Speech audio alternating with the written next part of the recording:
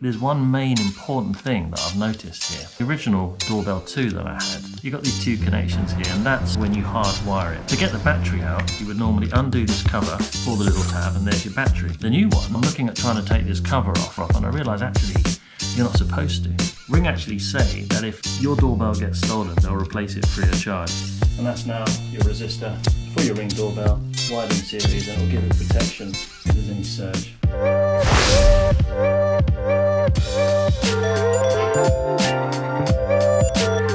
Thank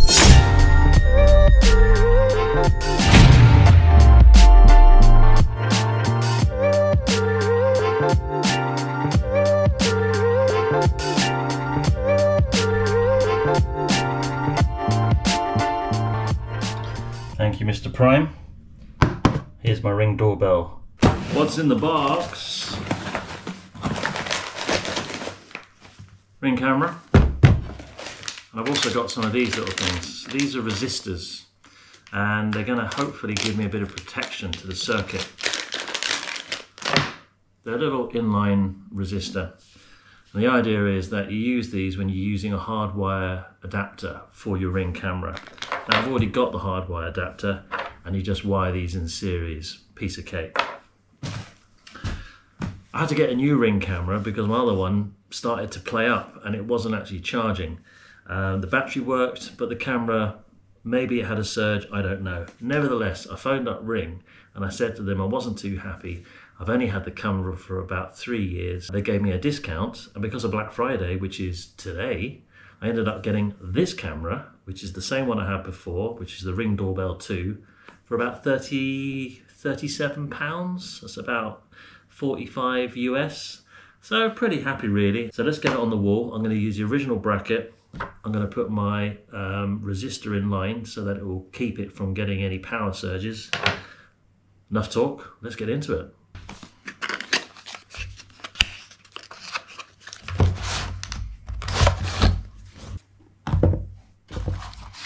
decided to go for the dark colour because I've got a dark wall and I like the idea that at first I wanted it to stand out but actually this little round circle here when it illuminates this will come on when it's hardwired it normally only illuminates when you press the button when it's on battery but when you've got it connected and it's charging that's how you know there's a hardwired system when that little white circle there is uh, always on at the back here you've got your two connections and all I'm going to do is wire this resistor from my power supply which is um, up to 24 volts AC and it's just going to be in line to the connection there. Pretty straightforward. Comes with a little toolkit and the charger here which is for the battery. So let's peel off the bottom here. Oh, fresh. And uh, oh, we've got two screws. I had one screw before. That's good. Actually, it's nice. It's got like a, a sort of a brushed aluminium finish, not quite as sort of plasticky looking as my original. That's the backing plate there. This one you obviously mount on the wall, and this one you connect to it. You can get different adapters, and I'll show you what I've done on my on my doorbell. It certainly looks to be built a little bit more stable than my original. So here's my old one. This is the second generation. I bought this about three years ago. This is also the second generation. I bought this about three days ago. In all sense and purposes, they look pretty similar, but there are differences, and I thought it was just going to be plug and play. Actually, it's not. First of all, if you look at the width on the second generation, this is the new one I've just bought, you can see actually it's a fair bit slimmer. Height-wise, they're about the same and width-wise, they're pretty much pretty much the same. There's one main important thing that I've noticed here. So on the original doorbell 2 that I had, you got these two connections here, and that's for when you hardwire it. And this is where I bought this resistor here to wire it in series so I give it some protection. Now to get the battery out, you would normally undo this cover, like so, pull the little tab, and there's your battery. And then on the battery, you then use your charger to connect in and there's lights on the battery that would charge up. So that's the one that I had originally. However, The new one, I'm looking at trying to take this cover off and I can't find out how to take the cover off. And I realize actually you're not supposed to. If you look at the back here, there's your charging port. You still got the two connections for your AC up to 24 volts hardwired connection. And there's your reset button by the looks of it there in, in orange. So I started thinking, actually, do you need a transformer? And would you need one of these? Because you could actually just connect a charger into it full time and, and run it in that way. Um, maybe they thought about it, but it's certainly a more sealed unit. So when you put this on the wall, the bracket that you get, here it is here, it actually is designed, this will stay on the wall, but it's designed just to hook in. And then I guess if you didn't have it hardwired and charged, you need to recharge it. You have to take the whole doorbell away and go and charge it. But security wise, the two screws that you would have at the bottom. So when this is on the wall, you put your two screws here and that will prevent people taking it. Ring actually say that if your doorbell gets stolen, they'll replace it free of charge. That's one of their policies. So we'll see how we go. I was hoping to use the existing bracket that I've got on my door, but I don't think I will now. I'm gonna have to try and modify it. I live on a hill, so I'm gonna have to point it down slightly, but let's see what happens. It's got like a little Torx on the end now. They've obviously changed the security. That was just a little Phillips before. Charger and some lovely stickers so that you can warn everybody that your doorbell is recording. So let's install it. So importantly, these screws that you get with the kit, they need to be flush when they're mounted, otherwise your doorbell is going to protrude. So they've got to be nice and flush. So all I'm going to do, I'm going to use the existing bracket, and as it's plastic, I can just screw into it just by self-tapping.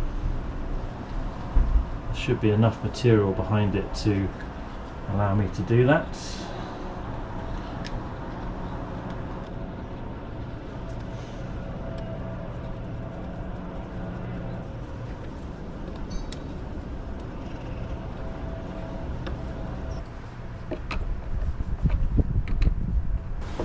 Okay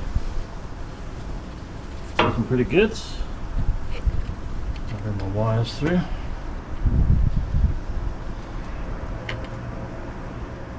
I'm going to put the resistor at the plug end in the dry so not much space in here and there's no need to be there I can just do it at the other end right so I'm going to put the one with the dotted line on the right no particular reason just just so I know. If you put it in the direction that you're going to tighten the screw, it will twist on better as well. So you're turning it to the right, so you want the wire to be on the left. So when you turn it, it doesn't come away.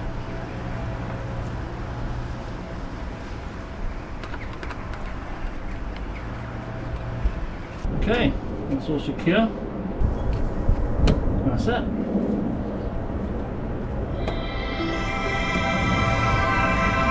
It's come to life.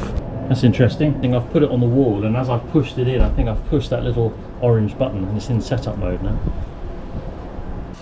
Let's peel it off.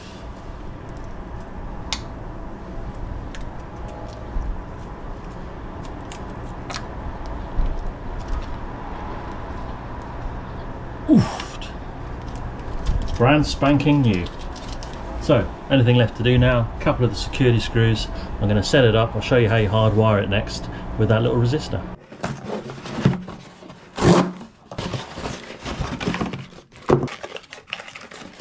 I've got the white one because it will match the, uh, the paintwork. The input is 240. In the UK we have 220 to 240 volts AC, a 50 hertz frequency. Importantly, the output is 24 volts AC and 500 milliamps. And that's what you need to power your doorbell. So by plugging this in to the back of the Ring doorbell that I've got, what it's going to do is actually give you a uh, LED light that will be always on. And when you see Ring doorbells with that LED light, it shows that it's a hardwired system and it charges the internal battery. So you never have to take the battery out, you never have to put the charge on, and you'll always have uh, video being recorded, which is part of the whole security feature. Why would you want it to run out? If you look at the two wires here, one's got a dash line, the other one doesn't. Alright, so here's my transformer. This goes to the doorbell, obviously outside. And all I'm going to do is, I've made a connection here, just because I've had to replace this once before. And instead of having to put a new cable all the way through the trunking, I just made a joint here. It's a far lot easier. So let's undo it here. And then I'm going to put the resistor somewhere, somewhere neatly on the side there. And all I'm going to do is I'm just going to crimp it. I've got these little spade connectors like this. You could just wrap the wire around through the tiny little hole or solder it. Um, but for simplicity, I'm just going to use these little connectors, put them on the cable, put it in series, and that's it. So the other end of this cable here, if you remember I mentioned about having one of the wires with a dotted line, and that's this one here on my right. So I'm going to connect the resistor on that for no reason but just to keep it more consistent that's all. So I'll put the resistor somewhere neatly on the line. Somewhere about here. And just run it in series just like that. So what I like to do is see how much cable you're going to need. You're not going to need a lot. You can run it to there. So let's snip it there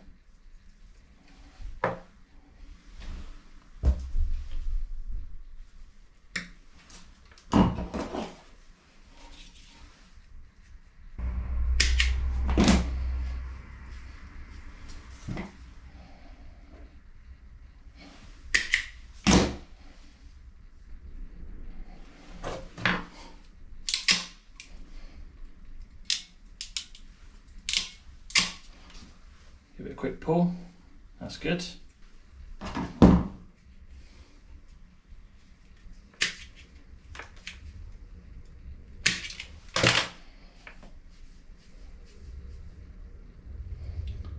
The wire's a little bit thin, so I'm just doubling this over.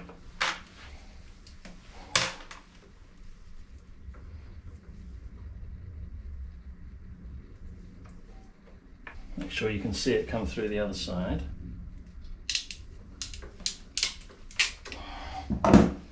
Okay, good. Put that one on there. There's no particular direction to this. Right.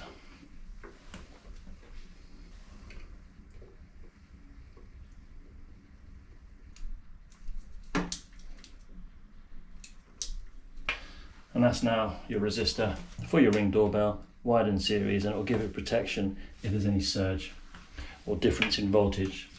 This is just the standard 220 to 240 volts AC in the UK, 50 hertz frequency, and the output is 24 volts.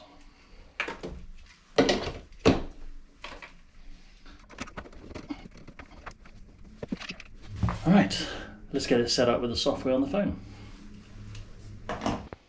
So let's go into Ring. We now want to look for the new doorbell. So here's my existing doorbell. You can see on the 19th to the 11th it stopped working. So we need to remove that. Let's go into devices and we've got front door here offline. These are the other cameras I've got. I've got three other floodlight cameras but this one is offline. Device settings. Remove device. So let's go into that and you've got options here. You've got delete events or you've got keep events. So I'm going to keep events, why not? And I'm going to deactivate the device. Success, you've deactivated this device. So that's my old ring doorbell now gone. Press OK. So that's now been deactivated. But I can still see the past events if I want to by scrolling along here. Right, so let's go and add a new device. So we're going to go to Set up New Device. It's a doorbell. And we can scan the code which came with the item on the box. Aha, I found it. And we continue. It's a front door, so select that. And I have read and done and installed, so press OK there. Got the two security screws. I found those and that is done. I've removed the protective film and we need to set up the Wi-Fi so let's do that press continue and the light is spinning. Let's go and check that. Okay. Light is spinning white. Ring doorbells preparing for setup. Let's go over to the doorbell and see what we can see.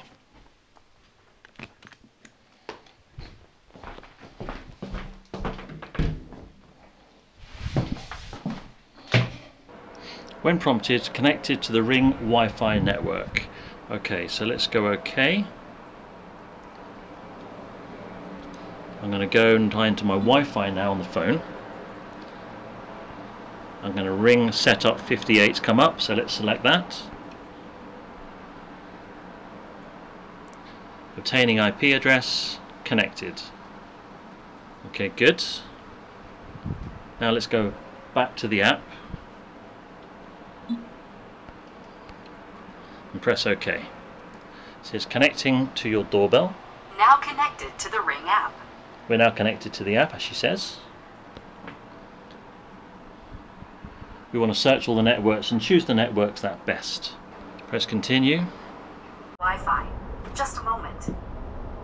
Okay, now connecting to Wi-Fi. Press OK.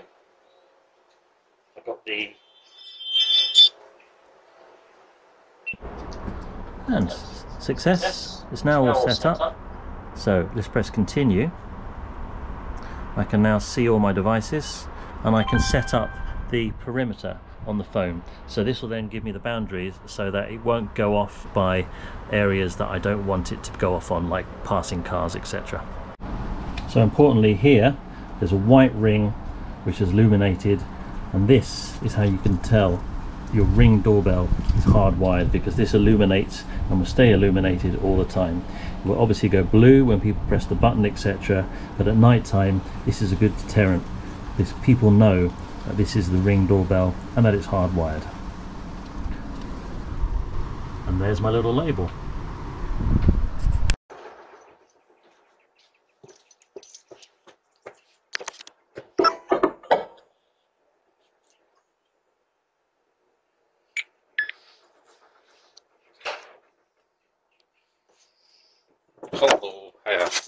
Just to be Sarah. part of this, you alright? Hi. Eh, see if I sh-